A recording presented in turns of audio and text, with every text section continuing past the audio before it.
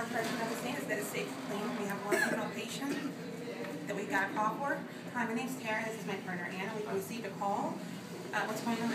She wasn't feeling good, so I laid her down. Now she's not responding. Are you okay? Okay, um, what was Patient doing mental before? status unresponsive. Administering oxygen. Okay, Non-rebreather mask. make sure at her 15. airway is open. Yes. Okay, you got the proper side open there. Yes. Okay, now we can place the non-rebreather mask back Okay. on. Uh, what's going on? Um, she wasn't feeling good. She was, um, she seemed confused. She didn't, know, she didn't know where she was. She was sweating a lot. She was breathing really fast. Breathing fast. So I laid her down, and um, now she, she's unconscious. She's not getting up. Okay, she allergic to anything that you know? No, she's not allergic to I'm gonna call for ALS. Thank you, okay. And, uh, is she on any medication that you know of? Any, Um, she's on insulin. She's a type 2 diabetic. Okay, so she has a diabetic. Yeah. What was she doing before she passed out? She was watching TV. Um, do you know what her uh, last oral intake was? It was about maybe two hours ago. Okay. And, uh, two hours ago? Okay. Um, so what we're gonna do is we have our AED on hand as backup, just in case we need to begin CPR, and ALS is on the way.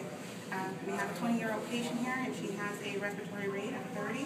Her pulse is one ten, her blood pressure is eighty over sixty, and she's a diabetic, uh, type two diabetic. Um, and you said she's on insulin, right? Yeah, she is. And do you know how often she takes it?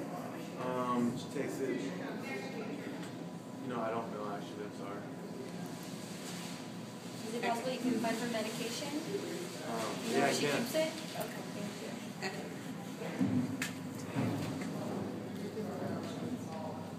Okay.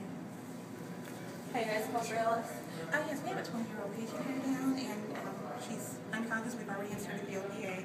She had res- respiratory rate of thirty, pulse of one ten, blood pressure eighty over sixty. Uh, she takes insulin normally, um, her brother's gonna get the medication for us, and she's been like this for approximately, how long did you say, about fifteen minutes? Before you Um. About half an hour. She's been like this for half an hour, okay, so we have her on high concentration oxygen at, uh, fifteen liters. Alright, let's get her loaded up and send the ambulance. I'll do vitals on the way down. Alright?